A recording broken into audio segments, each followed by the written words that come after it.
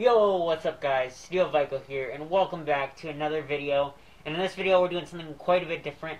Uh, I'm going to be showcasing this uh, Christmas tree right here, which I modeled to look uh, after the Clash of Clans Christmas tree from 2019. Uh, I wanted to do the 2021 first, uh, but that one didn't work out.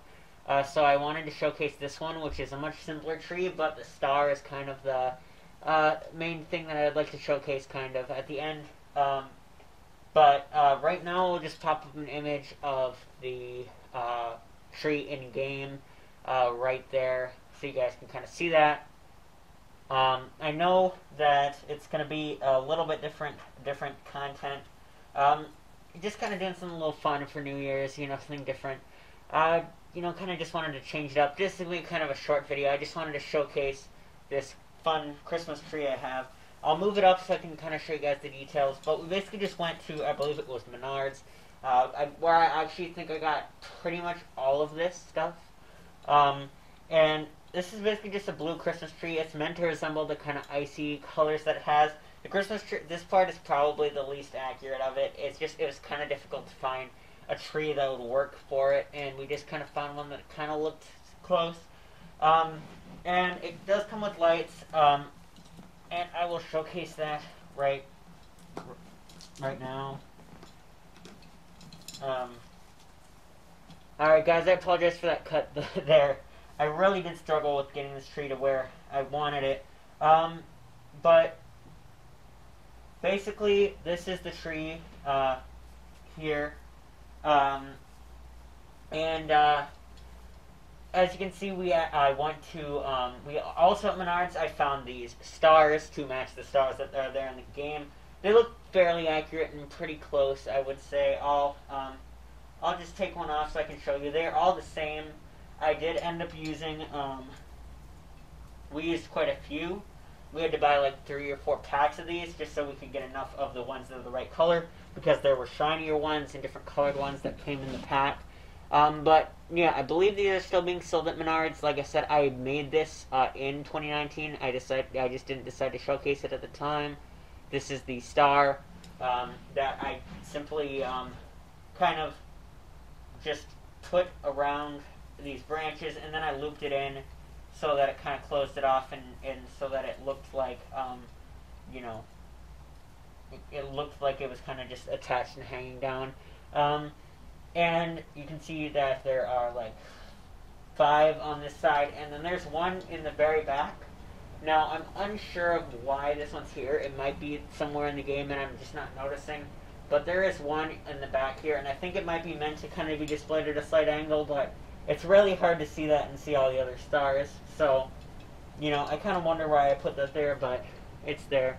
Um, and for some reason there's a like a hook for a ornament here with nothing attached. But uh, anyway, the most important part is definitely the star for this one, which I'll show you guys now. Um, and I believe it is looped through, yeah, it's looped through up here. And um, this uh, took more ingenuity than anything else on here. Um, and I'm very proud of this star, actually. Um, so, what it is is um, it is well the the star itself, which is supposed to resemble like you guys see it in the picture that I showed earlier, what it's supposed to look like. Um, this had um, other parts that stuck out here, like in all of these spots. I cut those off, um, and then I sanded this thing down. Now this is supposed to be a snowflake, obviously, and I then sanded it down and I spray painted it a few layers, I believe, to kind of give it that shiny. Uh, finish to it.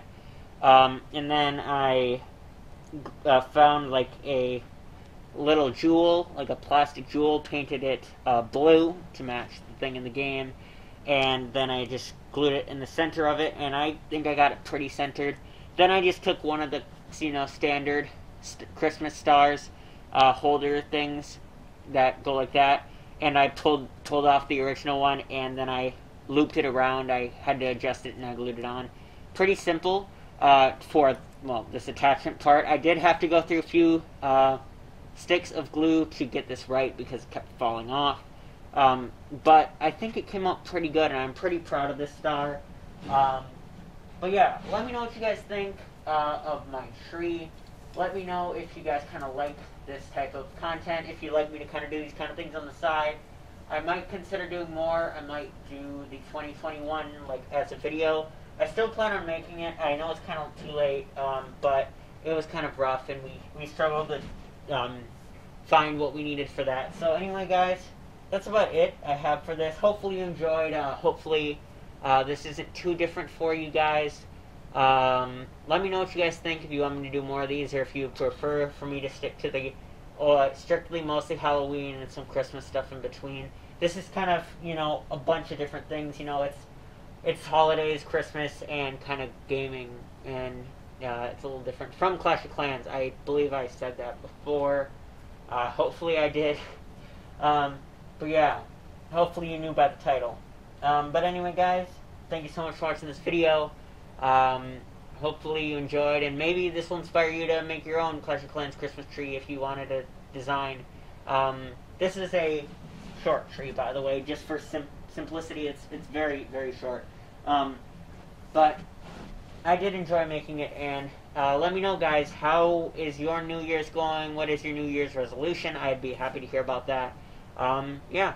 Happy New Year's, guys, and I'll see you in the next video, which will be next year, um, of course. Um, bye.